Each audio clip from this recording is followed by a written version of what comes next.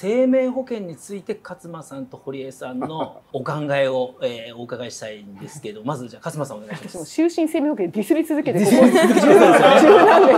から。新書も出されてましたね。もうずっと出してますよ。だってな、終身生命保険でわけわかんないですもん。存在価値が。ね、よくあんなプロパガンダに成功しましたよね。本当によくできましたよね。だから普通の掛け捨てだと入らない人たちが、終身だと騙されて入るんで成り立ってるんですよね。でも実質的には超、あの、利回りの悪い掛け捨てマイナス資産運用保険なんで、しかも本人死ぬ時86とかじゃないですか、89とか。息子や娘が何歳かって60いくつとかなんですよ。いらねえよ、そんな 生命保険でお金もらったってっていう。意味がわかんないんですよ。生前の贅沢を全くせずに一生懸命政府で月5万円とか積み立てていって自分が老人の時に死ん。だ時にやっぱりほぼ老人の娘息子に残るだけなんですよ。でもね一つだけ役割があって生命保険って、はい、生命保険があると娘息子や孫が大事にしてくれます。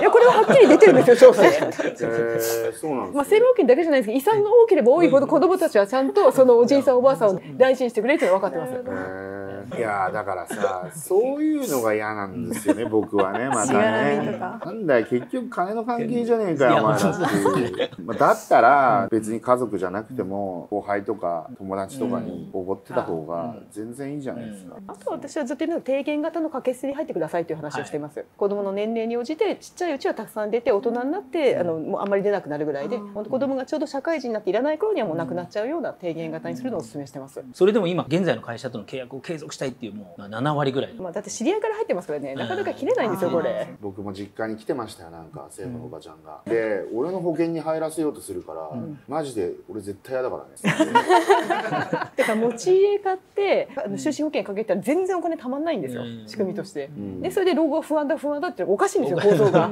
それは不安でしょっていう。でもおかしい不安を煽って商売をしてる人たちがいますからね。そうなんですよ。不安を煽る商売が一番儲かるんですよ、不安が一番視聴率も取れますしそうなんですよ。儲かりますし。本当に最低の商売だなと思いますけれども、でもね言ってもね聞かないっすね、面白いっすね。15年ぐらい続けてますけど。でも全部浸透してきてますよだんだん、本当ですか？え私の周りの人は理解してます？その,、そのずっと聞いてる人たちは柔軟でそう。そう子供でもいて自分が死んだ時にお金に困る人がいない限りいらないんですよ生命保険って。なくてもね最終的にね生活保護に頼ればいいわけだからね。まあでも本当に老後を楽しく暮らしたいと思えばお金のこととか家のことを心配するよりも人間関係とか健康に投資した方がいいって私も100%賛成です。